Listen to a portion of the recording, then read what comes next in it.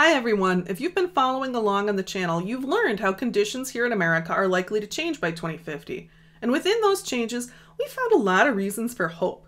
When we take a calm, realistic look at what climate change is going to do to the places we love, we find that the future is not going up in flames. There are places that will fare poorly, there are places that won't change too much, and there are places where the changes to come will bring opportunities. In this video, we're going to take a look at the global context for our American forecast you're going to see the outlook for our part of North America, it's just really great compared to much of the world. And that should inspire us to action and help us put the news into context. Because there are places where the future looks grim. And the more we prepare for our climate future, the more we'll be able to help.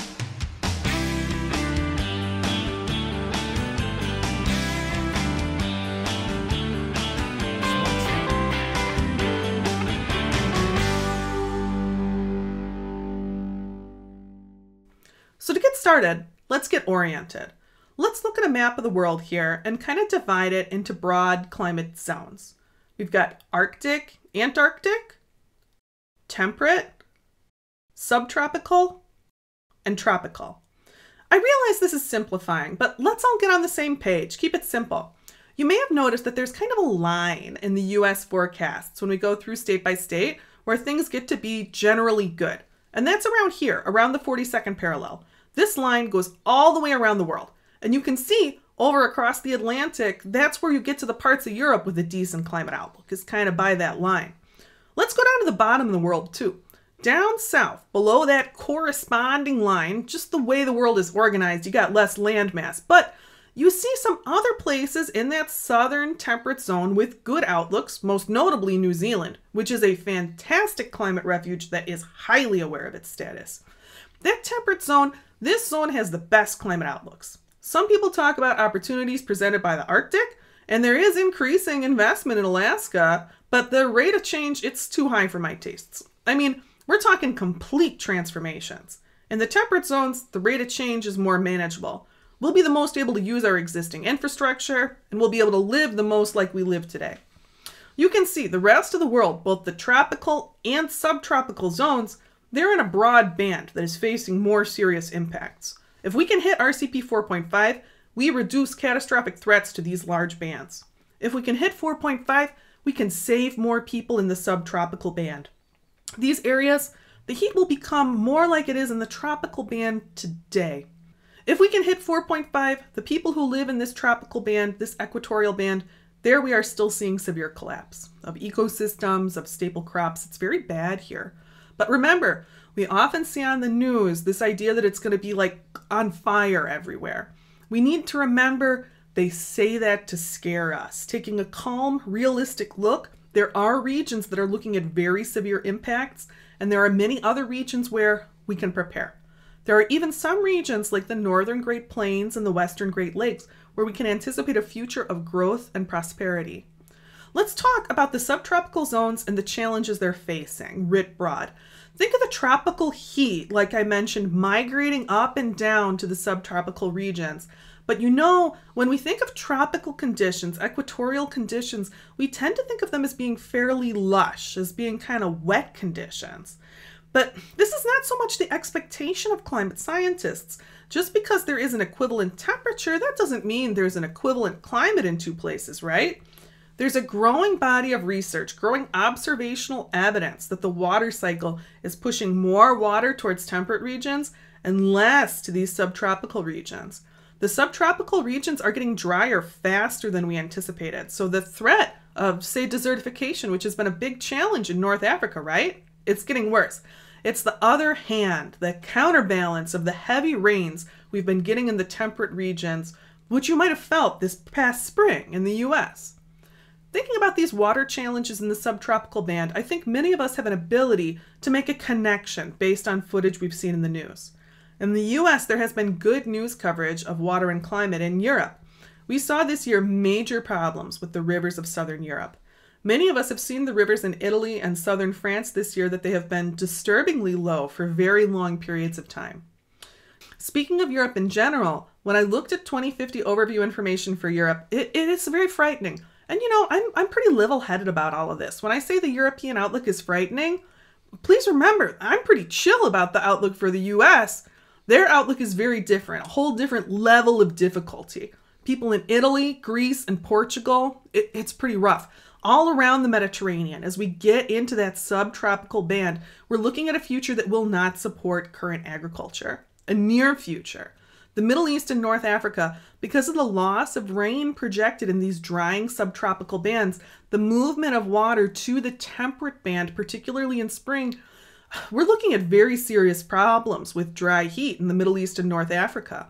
Not only North Africa, but also South Africa have been highlighted by the OECD as regions of very high water stress by 2050. You may have seen reporting about that, about increasing difficulties with water access in South Africa, serious city level challenges.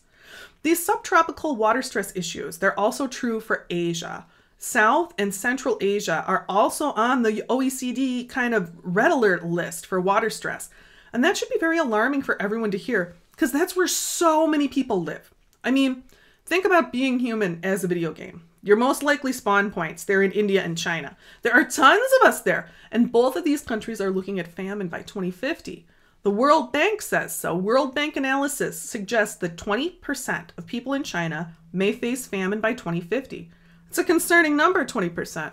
But let's take just a moment for perspective. It's not a majority, it's a possibility there in 20% for meaningful aid, for meaningful assistance.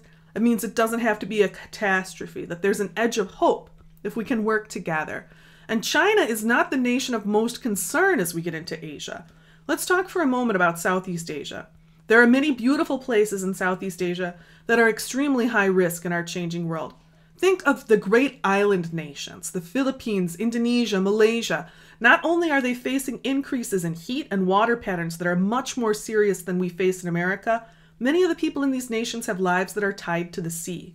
And the changes to the ocean are more dramatic and scary than the changes to the land. These are serious things we're talking about here. They're worth talking about calmly. None of us choose where we're going to be born. Many of these beautiful, culturally rich, very sophisticated nations in Southeast Asia, they are the most vulnerable, most densely populated areas on our planet. There's widespread agreement. Globally, there's going to be a need for people to move, and not everyone will be able to. Uh, what can I do but say it clearly? People are going to die. That is the message you see on the news, right? It's climate, everyone's going to die. On my channel, I try to give you a local news. In America, we're enormously fortunate. Our local outlook is much better than the world outlook. We have a chance. And that chance, I mean, look at our hand and look at the other cards on the table. We got bets we need to take. We need to get ready here in the US. Here, we've got a great chance to live not just scrabbly lives, but humane lives, the kind of lives we want here on Earth, and we've got a chance to help others as well. Right now, I talk with people across the professional field. They say people are moving, both globally and within the US. Right now, people with money and knowledge are moving. But the knowledge, it's not broadly or fairly distributed. That's where I'm trying to help. Because right now, it's easier for people to get out than it will be. We must spread this knowledge so that people who are listening can hear the warning. Those of us who can get to areas with the potential for hope, we have to work together to build that hope. We have to work to fully realize it. We need to make agricultural changes so that America can remain a food exporter. We need to make infrastructure changes so that we can welcome just as many people as we can. It can't be everyone because every place has a carrying capacity. A lot of places with hope, their hope rests on sustainable use of groundwater, and that's just not an infinite resource. Finding out how many people we can safely welcome and building that community, that's a great human challenge ahead. Looking at 2050 from within the US, there is substantial hope, great hope, if we share knowledge now aggressively, it seems not impossible that we could continue to feed and house all Americans. But there's, of course, a great world beyond our borders. The most populous parts of the world are amongst the most vulnerable, the places with the least realistic hope. There are many concerns that one of the early tipping points we might hit would shut down the monsoon over India. That would be a horror of such magnitude we, we haven't seen it. The more we prepare in those regions where there is hope, the more we can save. So, where is there hope? Where could we take people in? Identify where your country is in these broad climatic zones and then look at your water situation. Look for temperate areas with groundwater resources and with sustainable water cultures and practices. These are the places around the world where we can make a stand. So spread the word because in this world there is hope. and we can prepare for what's coming. When I say let's get ready, it's not just for those of us who are so lucky we were born in a place where we can look forward to a future that still includes so many things we love about our lives and communities today. I say let's get ready because we lucky ones, we need to have enough to be able to give. Let's get ready and come through these changes not just human, but humane, as decent and moral as we can. When we talk about these things, and they are terrifying things, we often talk about them just in terms of the science. But we cannot have an effective response without our human values of justice and mercy and kindness. When we prepare today, our hope can be brightest when these are at the center. You have a part in this. Let's get ready.